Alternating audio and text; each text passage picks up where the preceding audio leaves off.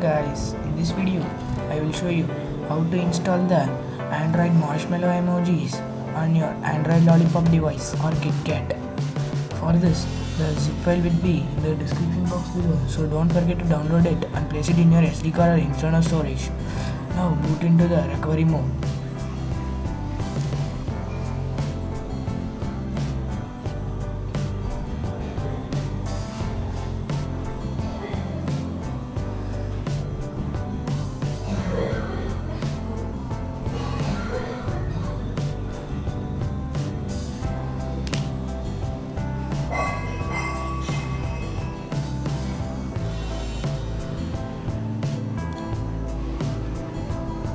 I am using the TWRP recovery. After booting into your recovery, don't take a backup of your device. After taking a backup, I already took the backup, so I am not gonna skip this step. Then press install and go to the folder where you have put your marshmallow emojis. Click it and swipe to confirm flash.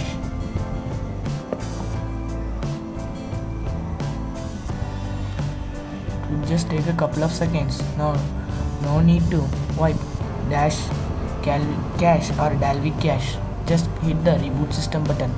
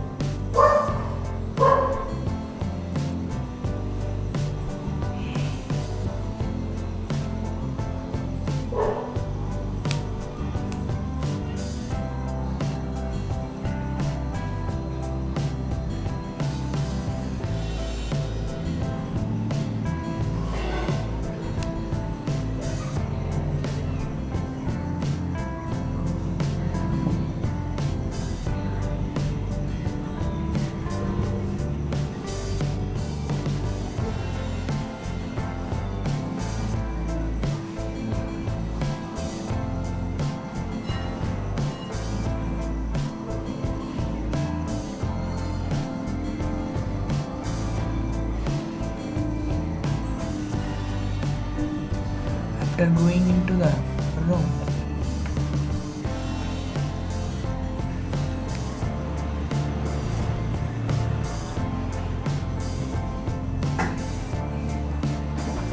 after going into the ROM, If the ROM opens correctly, then you are now installed the Marshmallow ROM onto your Lollipop device. So that's it for this video guys. Thanks for watching. Hope you like this video. If you do like the video, don't forget to give us a thumbs up and hit the subscribe button